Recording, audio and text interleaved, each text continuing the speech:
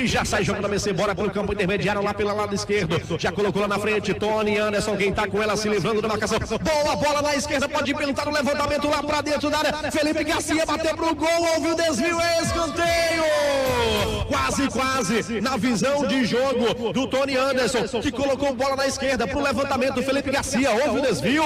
Ótimas pra assustar, né, Léo? Isso, ótima chegada da equipe do ABC. O Tony Anderson, né, com a sua categoria, acabou encontrando ah, o, Fe, o Fábio Lima lá do lado esquerdo que fez o cruzamento. Felipe Garcia veio fechando, contou com desvio, escanteio, lado esquerdo. Tony Anderson de da canhota, levantamento lá pra dentro da área, vai chegando a ABC, tá na rede!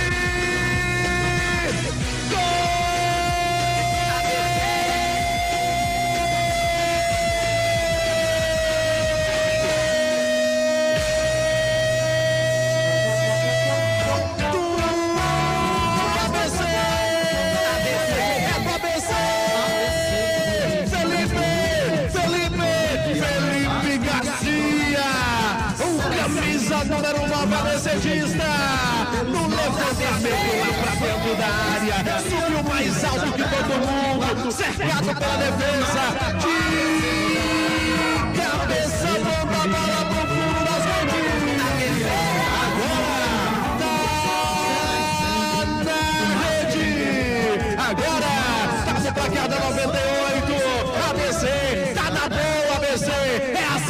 faz decisão.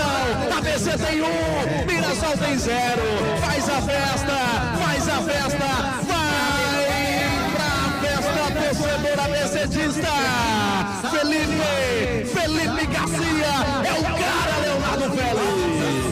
jogada anterior, o ABC já tinha chegado com perigo e na sequência da cobrança de escanteio do Tony Anderson, a bola veio na medida, no miolo da defesa ali do Mirassol. E quem subiu?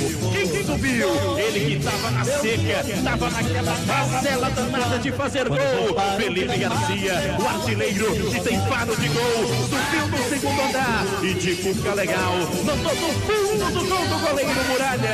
É o primeiro gol do jogo, é o primeiro gol do ABC.